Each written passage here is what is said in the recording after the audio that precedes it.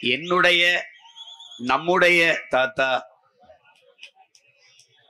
தமிழ் பேரினத்தின் பெருமைமிகு அரசியல் ஆளுமை அடையாளம்.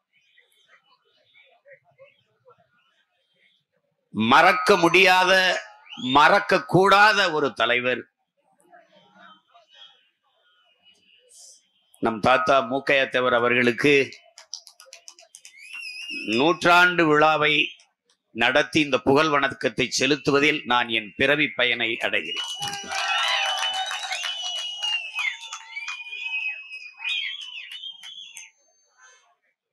என்னிலும் இளைய என் தம்பி தங்கைகளே என் உயிருக்கினிய உடன் பிறந்தார்களே பேரன்புமிக்க பெற்றோர்களே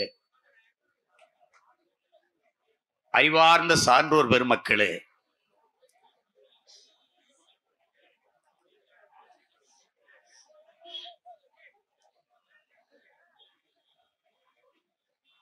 வரலாற்றில் தெளிவு பெறாத ஒரு இனம் எழுச்சி பெற முடியாது. இது புரட்சியாளர் லெலின் அவர்களுடைய கூற்று.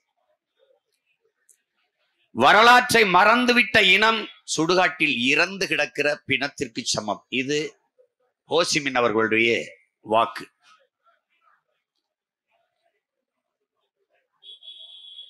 வரலாற்றை படிக்காதவன் வரலாற்றை படி படைக்க முடியாது. இது அண்ணல் அம்பேத்கர் அவருடைய வா- கூற்று.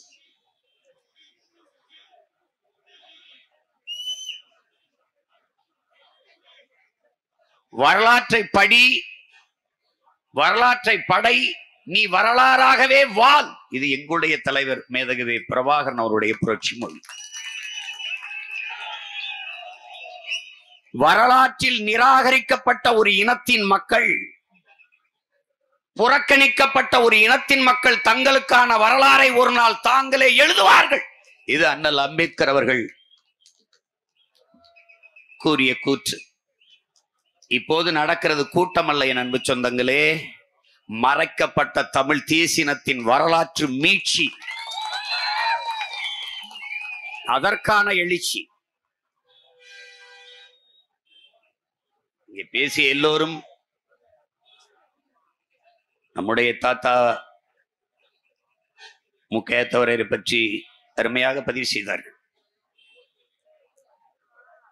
தேவரை பற்றி தேவர்தான் பேச வேண்டும் என்கிற நிலையை மாற்றி இருக்கிறேன் இந்த மகன் என்பதை. நீங்க புரிஞ்சுக்கணும். சீமானும் அவன் பிள்ளைகளும் நாம் தமிழரும் என்னடா செஞ்சிருச்சுன்னு? சொல்றேன் சொல்றேன் சொல்றேன்.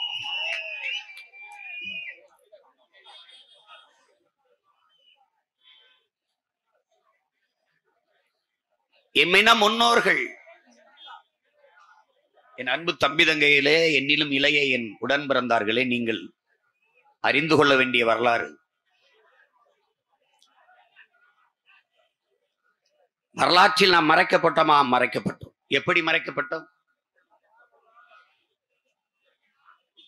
இந்த நாட்டை ஆளுகிற இந்திய ஒன்றியத்தை ஆளுகிற ஆட்சியாளர்களுக்கு வரலாறு என்பது இந்திக்காரன் வரலாறு தான். அவர்களுக்கு வீரன் என்றாலே மராட்டிய மன்னன் சிவாஜி தான். அவனுக்கு வீர பெண் என்றாலே ஜான்சி ராணி தான். அவன் வல்லவாய் பட்டேலை வரலாற்றில் வைப்பான். நம் தாத்தா செக்கிழுத்து செம்மல் வாவுசி வைக்க மாட்டான். எட்டு நாள் சண்டை போட்டவர் சிவாஜி வெள்ளைக்காரனை எதிர்த்து. எட்டு மாதம் தொடர்ச்சியாக சண்டையிட்டவன் நம்முடைய பாட்டர்கள் மருது வண்டியர்கள் மலர் மாலைக்கு கழுத்தை நீட்டுவதை போல மரணக்கயிற்றுக்கு எவன் துணிந்து கழுத்தை நீட்டுகிறானோ அவனே உண்மையான வீரன் என்று முழங்கிய நம்முடைய தாத்தா தெய்வ திருமகன் முத்துராமலிங்கத்தேவர் கூற்றுக்கு ஏற்ப வெள்ளைக்காரனின் தூக்குக்கு துணிந்து கழுத்தை நீட்டிய மாமன்னர்கள் நம்முடைய பாட்டன்கள் மருதீர்வர். என் தம்பி தங்கைகள் தெரிந்து கொள்ள வேண்டும். பெரிய மருதுக்கு தூக்கு கயிறை மாட்டி விட்டான் வெள்ளைக்காரன் அருகிலே ஏழு வயது சிறுவன். பெரியவர் கேட்கிறார் நான் உன்னை எதிர்த்து போரிட்டேன் எனக்கு தூக்குல போடுற சரி. இந்த ஏழு வயது பையன் என்னடா பண்ணா எதுக்குடா தூக்குல போடுறான்ட்டு. அதை ஒரு தடவை படிச்சு பாரு உனக்கு தூக்கம் வந்துருச்சுன்னா நீ என்னை கேளு. நான் எவ்வளவு பெரிய ஈகங்களை செய்த ஒரு இனக்கூட்டம் இது. இதே மாதிரி தீரன் சின்னமலை நமது ஒரு பாட்டை இன்னொரு பாட்டேன் அவன் வெள்ளக்காரன் இதே மாதிரி தூக்கு சொல்லிட்டான். தூக்கயிறு எடுத்துட்டு வரான் ஒரு அதிகாரி. படக்குன்னு வாங்கி இவரே மாட்டிக்கிட்டு தள்ளி விட்டுறாரு போடா போட. நீ எதிரிடா நீ எனக்கு மரணத்தை கூட பரிசா தரக்கூடாது போடா எப்படிப்பட்ட பரம்பரையில வந்திருக்கோம் பாத்துக்கு. அப்படி மறைக்கப்பட்ட ஒரு இனத்தின் மக்கள் தமிழரின வரலாற்றில் என் அன்பு தம்பி தங்கைகளை அருமை பெற்றோர்களே இழந்த நிலத்தை மறுபடியும் போரிட்டு மீட்ட வரலாறு நம்முடைய பாட்டி வேலுநாச்சியாருக்கும் அவனுடைய பேரன் பிரபாகரனுக்கும் தான். கணவன் இறந்து விட்டால் வெள்ளைப்படவை கட்டி மூக்கை சிந்திக்கிட்டு பொட்டுப்பூவை அழிச்சிட்டு மூளையில் உட்காந்து அழுதுகிட்டு இருக்கிறது. இருநூத்தம்பது ஆண்டுகளுக்கு முன்னாடி நினைச்சு பாருங்க ஒருத்தி கை குழந்தை தூக்கிட்டு போயிட்டு கணவனை இறந்த இடத்தில் உறுதிமொழி ஏற்று நான் இந்த இழந்த நிலத்தை மறுபடியும் போரிட்டு மீட்டே தீர்வேன் என்று ஒரு மானம் மரத்தி சபதம் எடுத்து வென்றுகிறார் என்றால் கண்ணகி போற்றப்படுகிறாள். அது ஒரு காப்பியம் அது ஒரு இலக்கியம். இலக்கியம் பொய் பேசும் புராணங்கள் பொய் பேசும். ஆனால் வரலாறு ஒருபோதும் பொய் பேசாது.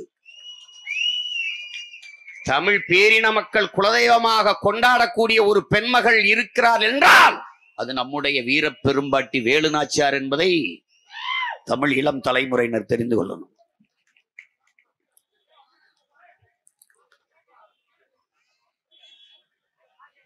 ஏன்னா வரலாறு தான் உலகெங்கிலும் எல்லா இனங்களையும் வழிநடத்துது.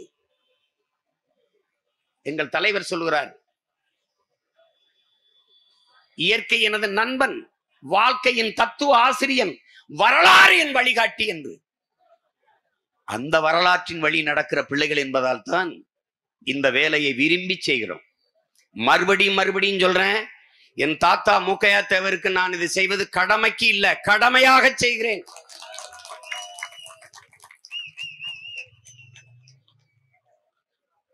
நான் உங்க ஓட்டுக்கானவன் அல்ல இந்த நாட்டுக்கும் மக்களுக்குமானவன்.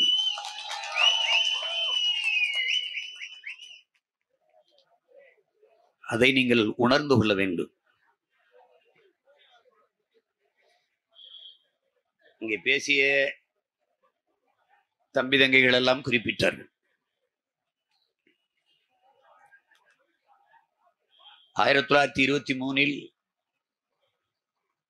கட்டமுத்து தேவருக்கும் சிவனம்மாளுக்கும் மகனாக நம்முடைய தாத்தா பிறக்கிறார்